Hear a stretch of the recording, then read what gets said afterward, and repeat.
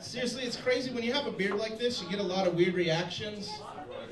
Like a lot of times, girls will come up to me and they'll be like, "I like the beard. Can I touch it?" Like that's how the game works. I happen to like your boobs. And then she smacks me in the face, and I'm like, technically you touched the beard. Come on, tit for tat. Uh,